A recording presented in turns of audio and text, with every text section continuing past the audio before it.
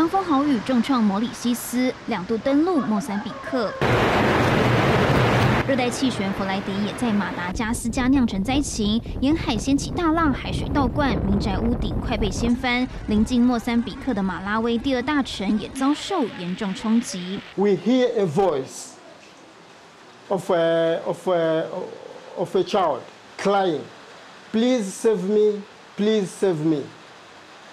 Then, after opening the door, then we have discovered that we have surrounded with mud around our house.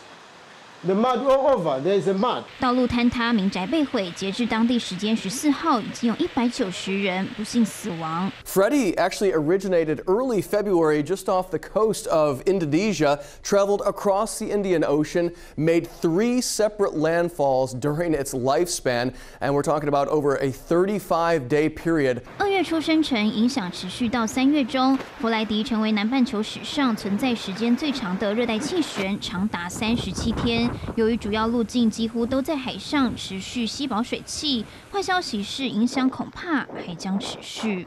三里新闻缓宣报道。